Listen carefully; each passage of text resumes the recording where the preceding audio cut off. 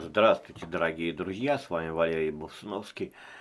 Сегодня мы поговорим о такой вещи. Вот пришло письмо, да, да в группу, в школу. Сейчас а, я постараюсь сделать чуть больше. Ну, в принципе, вы воспринимаете на слух,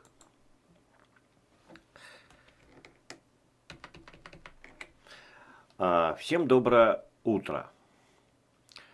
Ребята, поделитесь опытом. Проблема следующая. Я изучаю Python с мартом самостоятельно, также на данных курсах. Теория, как мне кажется, идет у меня, но практики нет. Не могу, еще, не могу из человеческого языка перевести в машины. Но задача, например, написать, э, написать программу, где надо ввести ввод пользователя, это я могу. А вот что-то сложнее, ну никак. Поделитесь опытом. Ребят, э, сразу успокою. Это не проблема, это этап. И этот этап интересует всех. Зачастую именно за из-за того, что человек, э, новичок, который пытается изучить язык, да, сразу, он сразу, уже когда он будет писать, думает, да, и это его тормозит. Значит, давайте разберемся и найдем пути решения. Итак, сначала нам надо определиться на следующем. Это не проблема, это этап. Сначала давайте я, вот ответ, который я написал, я буду его рассказывать вам и цитировать. А мы с вами в конце дойдем до решения. Значит,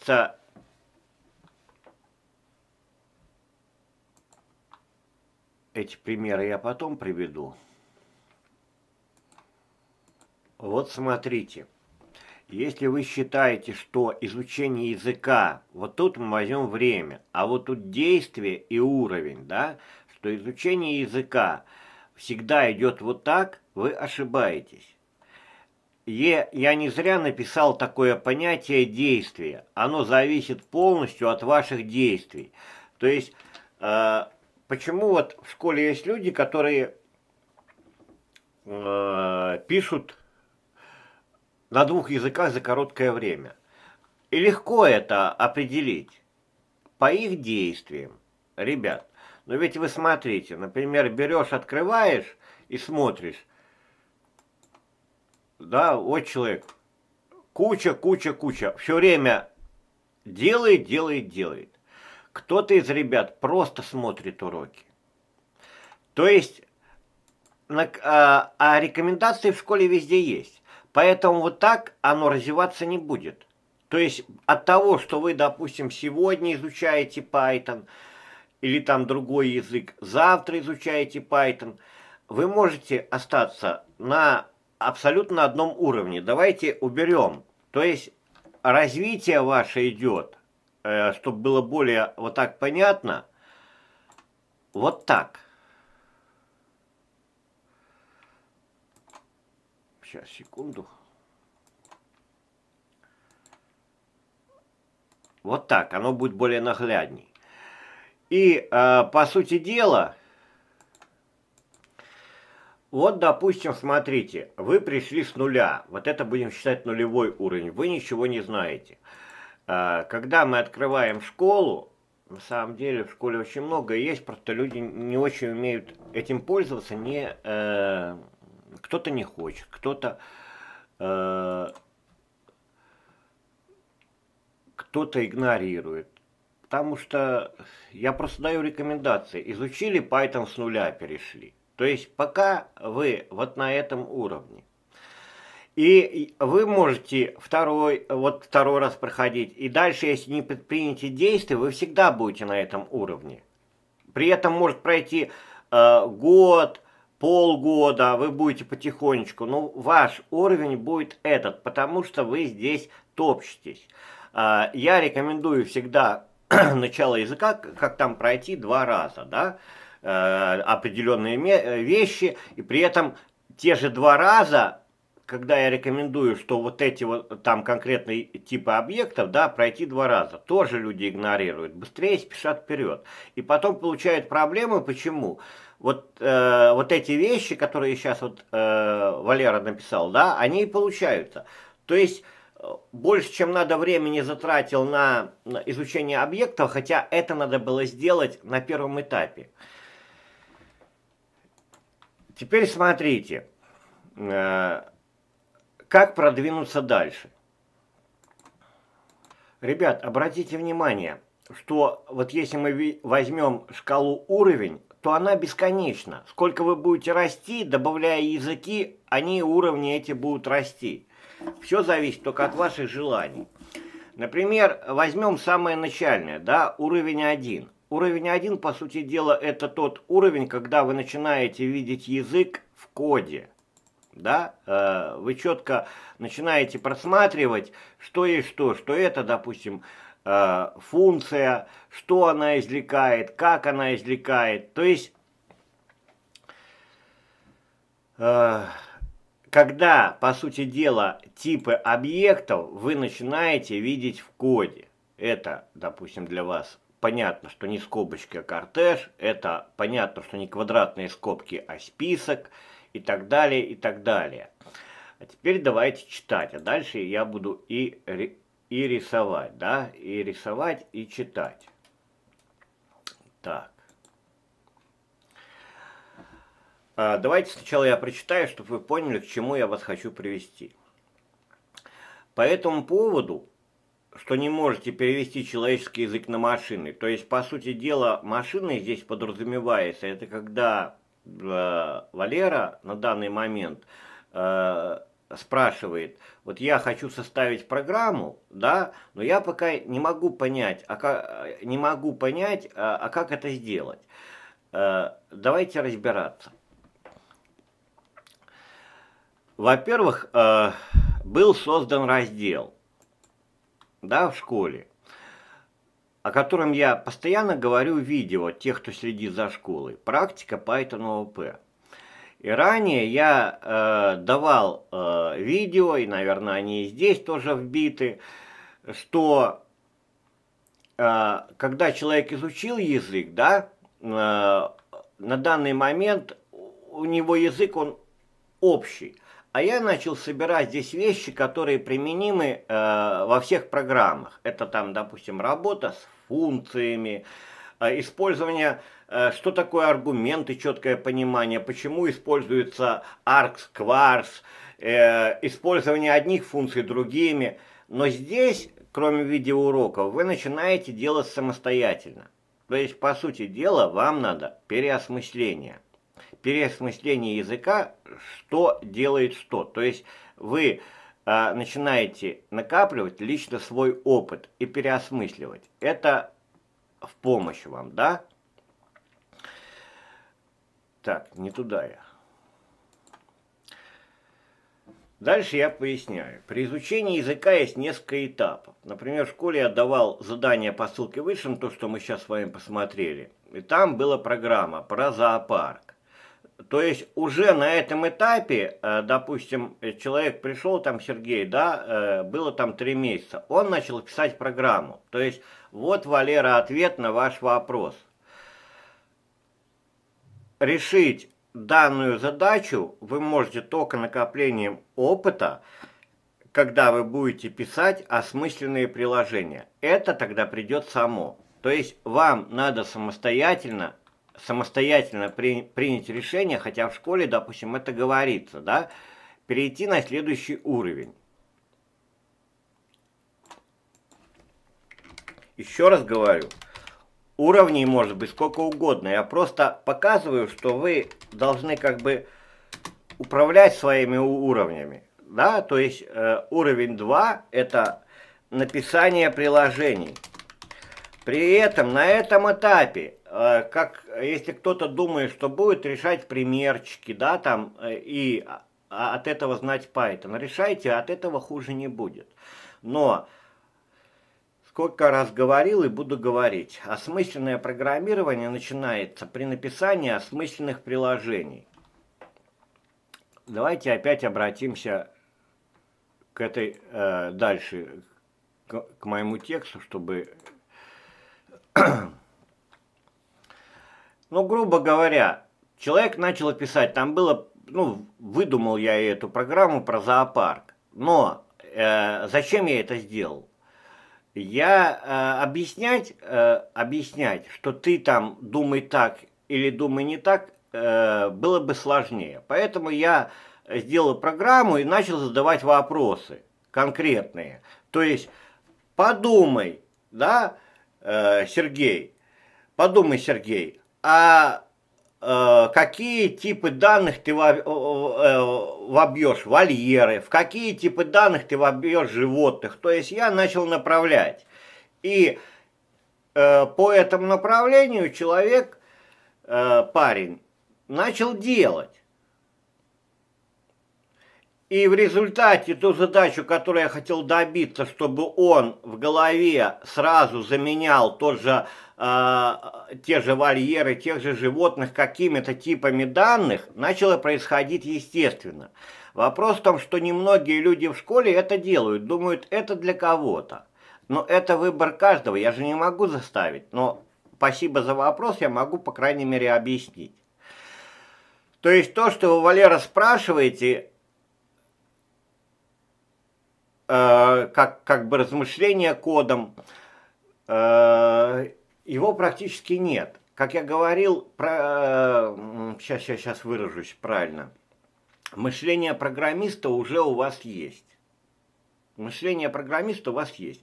И развить его можете совершенно просто. Смотрите, Валера, понаблюдайте за собой. Вот вы заходите в магазин, бытовая ситуация – попробуйте переводить свои действия на код. Попробуйте так пожить один день.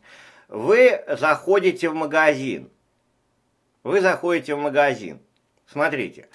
Ведь э, понятно, что вы, э, ваша рука тянется к двери, открывается дверь, а вы подумаете, остановитесь на секунду – автоматом. Ваш э, мозг работает уже как э, запрограммированный на определенные действия. Иначе вы там, допустим, пытались там шкрябать стекло, а дверь, ну, ну как, как моя, допустим, там, э, не, э, или там дуть на дверь, но она же не открылась, то есть вам надо адекватное действие. Так вот, прежде чем вы будете э, тянуть руку к двери, вы подумайте, протянуть руку, взяться за ручку, открыть дверь. То есть, а теперь э, встаньте и подумайте, а как это перевести в код? Заходите в магазин, увидели полки. Представьте, полки, список. Валера, список, на нем есть продукты, категории, полка 1, полка 2. Поразмышляйте, вы это все умеете. Не путайте себя. Надо практика. Просто поразмышляйте в бытовых ситуациях. Стали в магазин, ну постойте мину, минуту, да, посмотрели на стеллажи. Как вы сделаете стеллажи? Категориями можно сделать стеллажи? Стеллаж 1, стеллаж 2, стеллаж 3, стеллаж 4. Категории. В какой тип данных вы вобьете категории? Список, кортеж. Ага, не знаете в какой. Значит, надо поразбираться, а что такое список действительно. Я, я дальше пишу вам. Это идет переосмысление. То есть, по сути дела, да, для вас список, да, существует в Python список, он как бы существует сам собой, и вы, Валера, сам собой.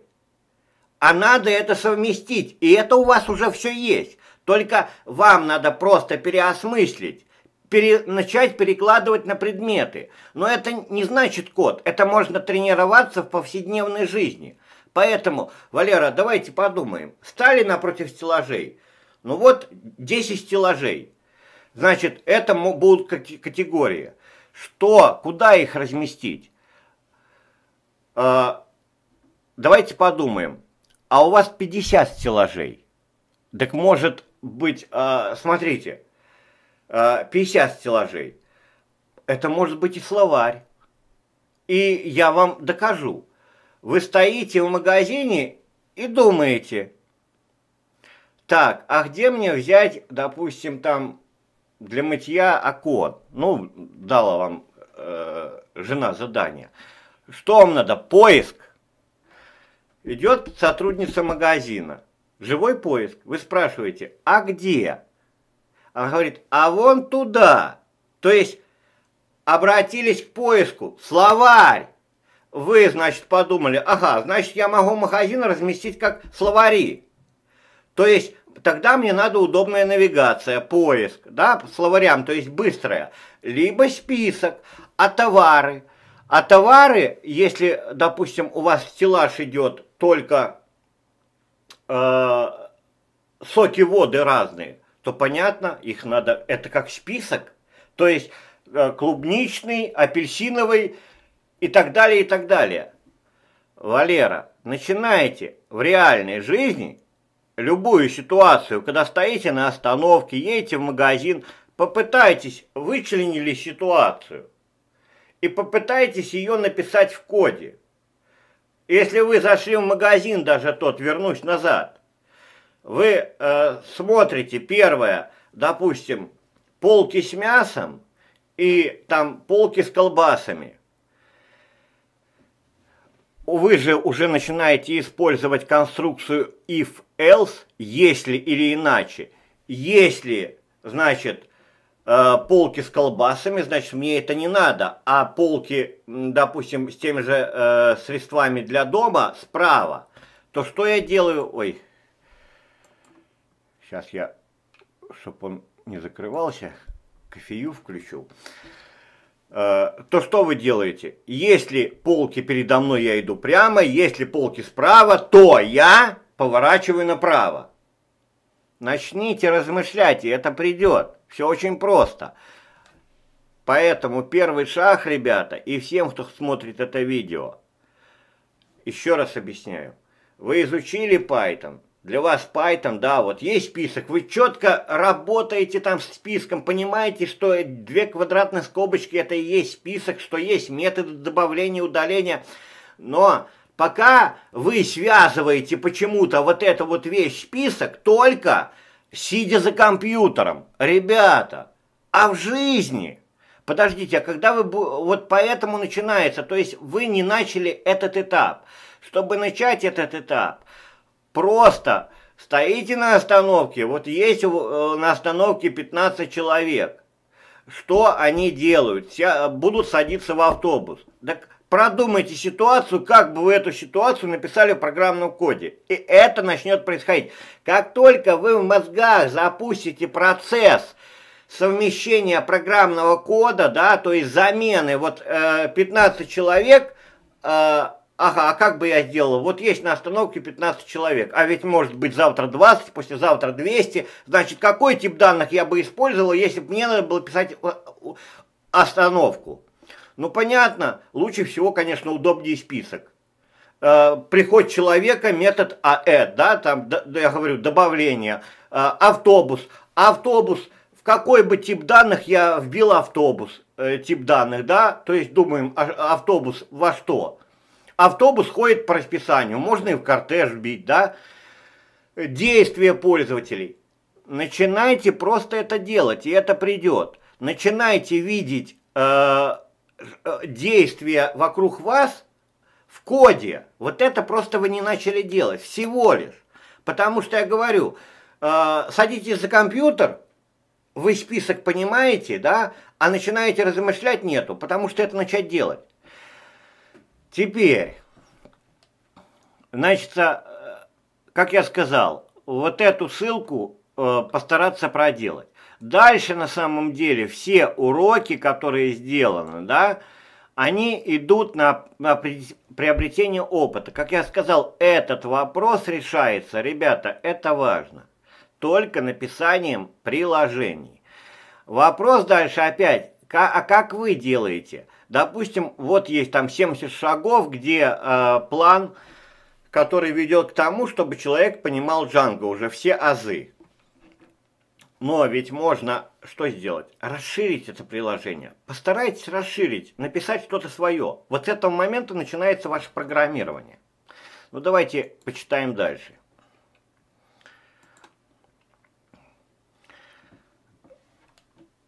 Когда вы начинаете изучать язык только по видеоурокам, вы начинаете знать, но не владеете. То есть, по сути дела, да, действительно, вы повторяете, да, вы уже понимаете, что вы делаете, вы видите, но пока не владеете. Э, то есть, по сути дела, вы можете написать программу по подобию, да?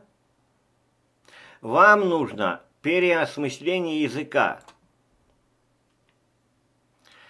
То есть, э, что это я говорил? Это я и говорил, вот сейчас я просто видео добавил, потому что описывать это было бы не очень, не очень хорошо.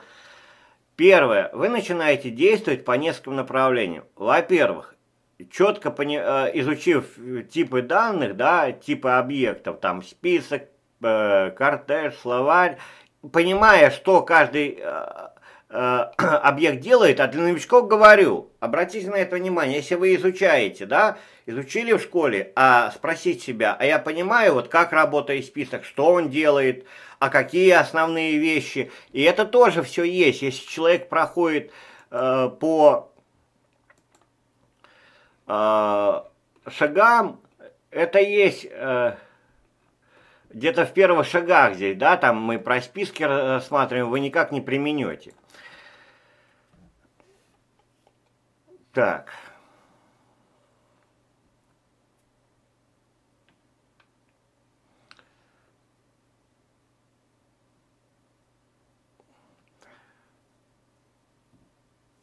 Теперь, ребят, на каком этапе вы находитесь, легко определить, почитав любую документацию, э, независимо от языка, вот который вы изучаете.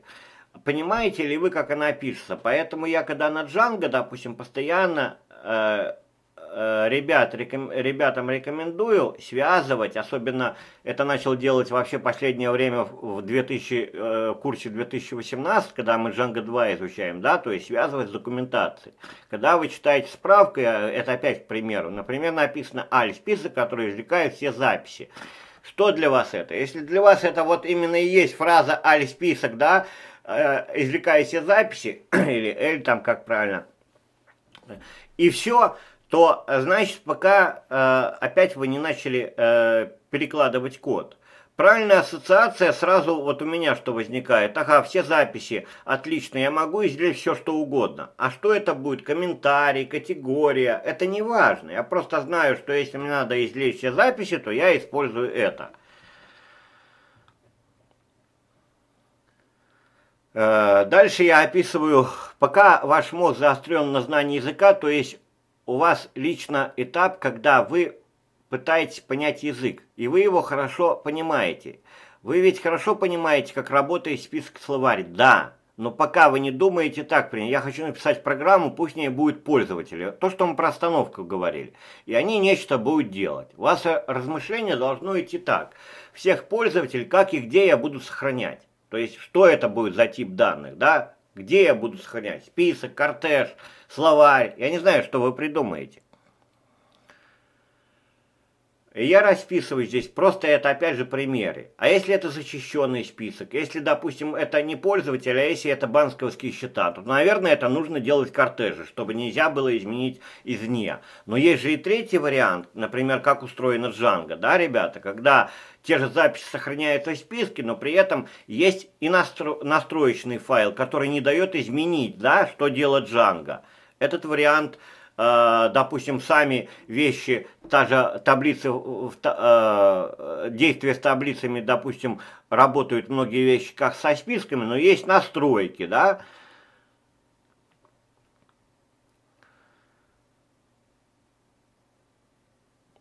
Ребят, вот что самое важное. Э, то, что ищет Валера, то есть, да, знаю язык, написать не могу, лежит, грубо говоря, в сфере опыта который нельзя э, приобрести, изучая язык. Его надо наработать, наработать на приложениях. Другого пути нет. Такой опыт, ребята, вот как я написал, нарабатывается при написании осмысленных приложений. И так далее, и так далее. Ну и я скину эту статью к видео.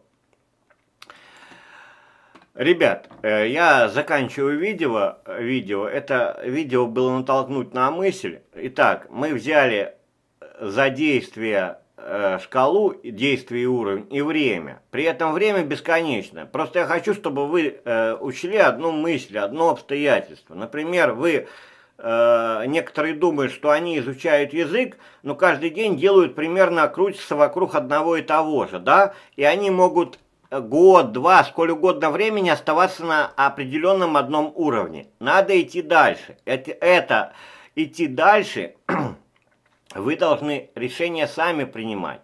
То есть в школе все это есть, да.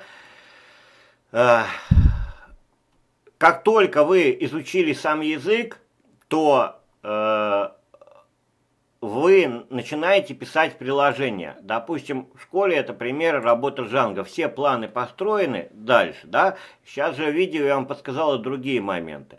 Кроме этого, есть практика Python OP, э, где мы смотрели по ссылкам, да, то есть расширенная. Кроме этого, кроме этого, я не раз писал видео, почему важно изучать несколько языков программирования. Допустим, в школе я рекомендую изучать Python и Kotlin. Эти все вещи взаимосвязаны. Например, Э, Kotlin нам нужен для мобильных приложений. Когда вы изучаете Python и изучаете Kotlin, то э, Python язык с динамической типизацией, Kotlin язык со статической типизацией. Э, работая с языком со статической типизацией, вы очень четко начинаете работать с типами данных, так как в Python, допустим, типы данных, мы получаем практически все действия а, автоматически, и у нас малое осмысление работы с типами данных в Python. Это осмысление приходит, когда мы начинаем рассматривать язык с, с со статической типизацией. Почему я выбрал Python и Kotlin? Потому что Python мне дает возможность веб-приложений, Kotlin мне дает а, полную широту работы с мобильным рынком. То есть практически мне, меня интересует лично, допустим, рынок э, веб, который э, мы видим, как говорится, в обычном мониторе, да, и рынок мобильных приложений. Два рынка, которые, в принципе, при этом э, серверная часть может быть на Python, а морда на Kotlin. Э, также сделан Instagram, например, тот же. То есть там на Java, э, на Java э, морда мобильная, а сервер, серверная часть на Django это Python. Итак, сделаем вывод. Сделаем вывод, что не надо переживать в первую очередь. Э, этап, который вот сейчас задал вопрос э, Валера, потерял я уже где-то этот вопрос, но это не важно да, Валера, да, то это нормальный этап. Просто э, просто-напросто надо начать нарабатывать опыт и постараться делать, вот как я подсказал, э, в повседневной жизни. И это само произойдет. Для этого также еще надо начать писать приложение. Ведь школа на это опять же настроена. Просто в школе используется Django. Почему Django? Ребята, да, в современном мире любое приложение старается обмениваться данными. Без серверной части вы никуда не двинетесь, пусть вы чем бы ни владели. Поэтому серверная часть – основа. Ее надо знать, как ни крути. В кабинете по пути пошли-пошли вперед. Делаем и делаем. Вывод, еще раз даже его проговорю, вывод – это осмысленно написание приложений. Поэтому переживать, что у меня что-то не получается, Валер, не надо. Главное не останавливаться. И все обязательно получится. Спасибо.